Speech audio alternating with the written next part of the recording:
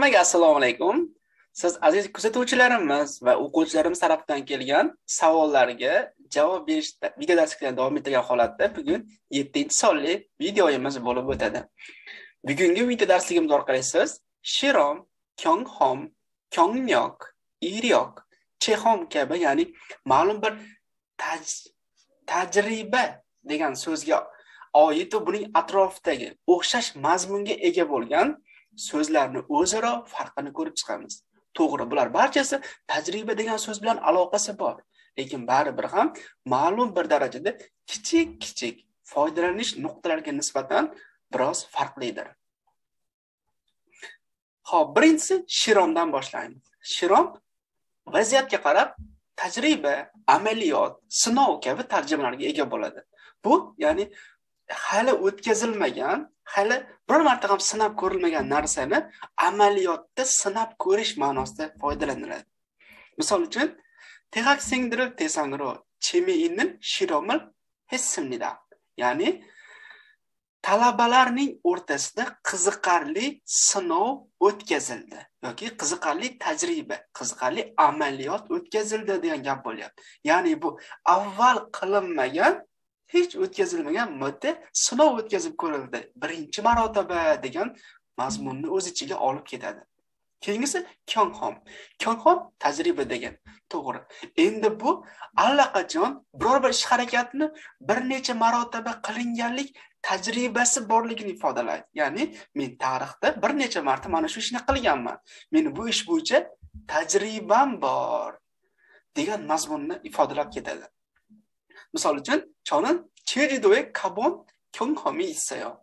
men 제주도ga borib ko'rganlik tajribam bor degan gap bo'lyapti ya'ni mening faoliyatimda mening shu yashab kelgan tariximda jejudoga borib ko'rganlik ishi o'tgan mana shunday holat vaziyat menda bo'lgan degan narsani ifodalab keladi keyingisi kyongnok endi biroz so'zlarimiz qiyinlashib boradi endi bu nima degan kyongnok ma'lum bir shaxs biror bir faoliyatda shug'ullanib uzoq vaqt shug'ullangandan so'ng uni ortidan insonda kyongnok paydo bo'ladi ya'ni tajriba paydo bo'ladi misol uchun men chamasi bir yarim yildan beri koreys tili bo'yicha ta'lim berib sizlarga qiziqarli videolar orqali mm, biror bir narsani o'rgatishga harakat qilaman demak meni 한국어를 가르치는 1년 이상 경력이 있어요.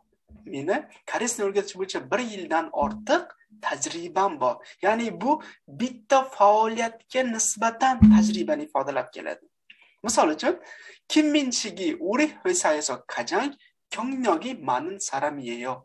김민식 bizning kompaniyamizda eng tajribasi ko'p bo'lgan odam ya'ni eng tajribali odam degan gap bo'lyapti ya'ni bizning firmamizda eng uzoq ishlagan Bu yerlardagi ish faoliyatlarini eng yaxshi biladigan inson ya'ni bu yerda uzoq ishlagan uchun unda uzoq yillik tajribasi bor degan mazmunni ifodalab kelyapti keyingisi iryok. Iryok bu juda keng qamrovli so'z.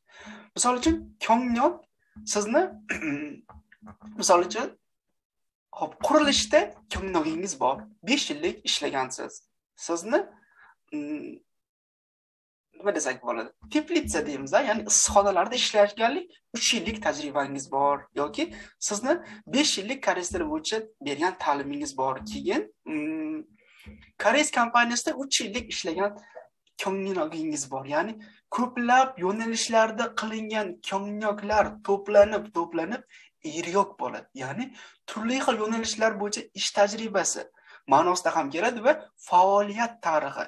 Ya'ni men mm, 2000 2002 yildan 2011 yilgacha 43 maktabda o'qiganman. Keyin 2011 yildan 2014 yilgacha chortoq med e, chortoq tibbiyot kollejida tahsil olganman. Mm, keyin e, 2017 yildan boshlab hozirgacha chonbuk universitetida ta'lim olyapman. Demak bu meni iryogim ya'ni turli xil faoliyatlarimni tarixi bo'lyapti. Tushunyapsizmi? Ko'plab yo'nalishlarda qilingan kimnoklar to'planib to'planib iryok bo'lar ekan. Nanashiya iryogi qedaneyo ya'ni nanashining faoliyat tarixi ish tajribasi u havas qilarli ekan zo'r ekan degan mazmun ketyapti. Hmm. Va eng oxirgisi chexon chexon endi bu e, konxomni ko'z orqali mm, hop eshitib olish ham mumkin. Lekin chexomni faqat o'z tanangiz bilan o'sha yerga borib haqiqatda tanangiz o'sha jarayonda ishtirok etishi kerak. Mana shunday tana orqali tananing harakatlari orqali qilinadigan faoliyatlar chexom bo'ladi. Samak chexom yo'g'angil shinjanga чушь особ комсомнида samak tajribasi ya'ni cho'l tajribasi sayohatiga ariza qilib berganingizdan minnatdormiz. Ya'ni bu yerda mazmun kelyaptiki siz cho'lga borish sayohati cho'lga to'g'ridan to'g'ri borib shu yernida o'zingizni mm, nima desam bo'ladi cho'l tajribasini orttirasiz. Buni uchun esa siz tanangiz bilan birgalikda o'sha yerga borasiz degan mazmunni o'z ichiga olib ketadi. Bugun ushbu video darsligimiz orqali sherom kyonghom kyongyok iryob chexom kabi ma'lum bir tajribani ifodalaydigan tajriba degan so'zni turli xil holatlarda qanday qo'llanishligini ko'rib chiqdik. Agar sizlarda ham mana shunday qiziqarli savollar bo'ladigan bo'lsa videolarimiz ostida yozib qoldiring. Ichidan eng foydalisi ko'pchilikka foydasi tegadi deb hisoblaganlarimizni olib video darslik qilishga harakat qilamiz. Agar ushbu videomiz sizga ma'lum bir darajada foyda keltirgan bo'lsa nimanidir o'rgangan bo'lsangiz videoga klass bosishni va keyingi video darsliklarimizni o'tkazib yubormaslik uchun kanalga a'zo bo'lishni unutmang. Koreal language safarjon bilan qoling biz siz uchun doim eng yaxshisini tilaymiz. Keyingi video darsliklarimizda ko'rishguncha.